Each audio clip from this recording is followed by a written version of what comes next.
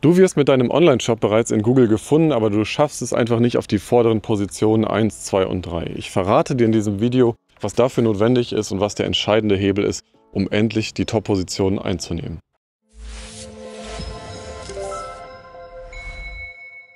Mein Name ist Phil Posch, ich bin Gründer und Geschäftsführer der Posch Consulting GmbH. Wir machen Suchmaschinenoptimierung mit einem Sales-Ansatz. Das heißt, wir sitzen nicht klatschend vor Google Analytics, sondern wir sitzen klatschend an den Sales-Zahlen. Das heißt, es geht darum, wie können wir deinen Online-Shop mit Sales versorgen, mit Verkäufen maximieren und deine Zielgruppe entsprechend überzeugen, dass dein Produkt mehr verkauft wird. Und hier zeigt sich immer wieder eine ähnliche Situation bei den klassischen Online-Shop-Betreibern, die bereits in einem sechs- oder siebenstelligen Bereich Sales generieren. Und zwar das Thema Content. Content hast du bereits auf dem Schirm. Du hast es entweder mit einer Inhouse-Lösung so entwickelt, dass du sagst, du hast ein eigenes Redaktionsteam, was die Produkttexte schreibt, was die Kategorietexte schreibt. Im besten Fall auch das ganze Thema interne Verlinkungen bereits berücksichtigt. Ähm, oder du hast eben eine externe Agentur, vielleicht sogar eine SEO-Agentur, die dich in diesem Bereich betreut.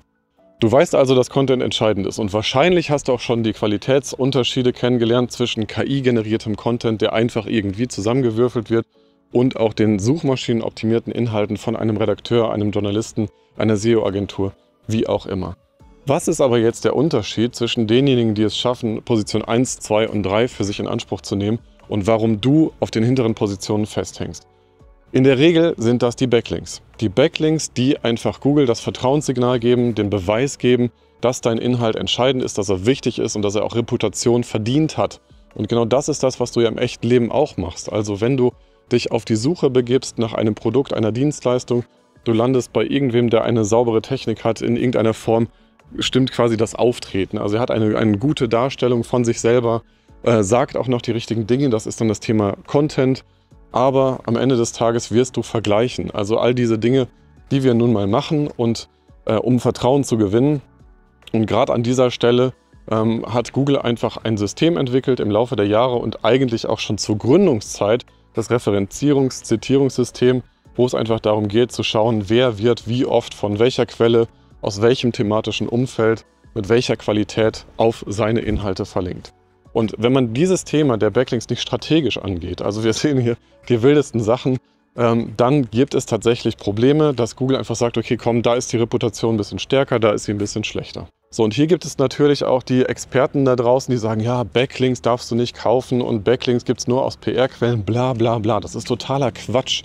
Also wenn es ums Thema Reputation geht als Unternehmer, dann musst du dieses Thema in die Hand nehmen und auch wenn es natürlich einen Beeinflussungsgrad darstellt, also dass du sagst, hey, ich kaufe mir irgendwo ein Stück Erwähnung ein, einen redaktionellen Beitrag, ähm, ich sorge dafür, dass mein Unternehmen im Internet erwähnt wird, dann ist das ein Stück weit Marketing und es ist auch wichtig.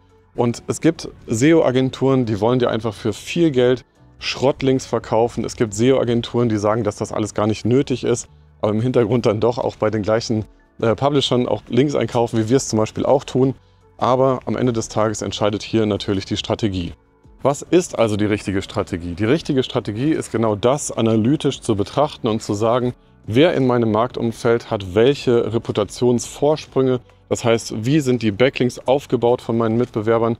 Ähm, gehen sie quantitativ vor, qualitativ? Aus welchen Themenumfeldern werden sie verlinkt? Gehen sie auf die einzelnen Produktseiten äh, thematisch bezogen vor? Ähm, auf die Produkte, Kategorien, inhaltliche Dinge. Und gerade hier an dieser Stelle ist es einfach nur notwendig, mit den richtigen Tools zu arbeiten. Und hier haben wir einen immensen Vorsprung vielen äh, klassischen SEO-Agenturen voraus, weil wir einfach hier sehr dezidiert reingehen.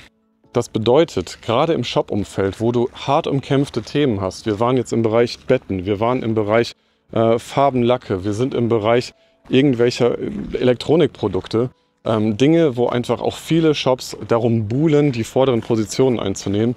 Und da geht es dann darum zu sagen, ich bin der vertrauenswürdigste für einen Algorithmus, der nach einem Reputationsumfeld schaut. Dafür machen wir die wildesten Sachen, wie zum Beispiel Toxizitätsanalysen. Ich liebe die deutsche Sprache für diesen Quatsch. Ähm, aber diese Dinge machen wir einfach, um das zu ermöglichen und zu gewährleisten.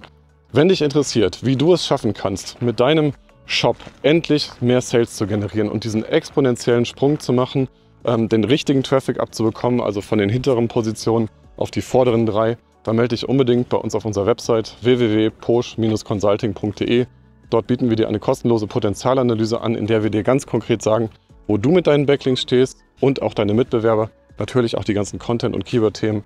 Aber gerade dieser Hebel, der ist entscheidend. Ich freue mich aufs Gespräch. Bis dahin, dein Phil.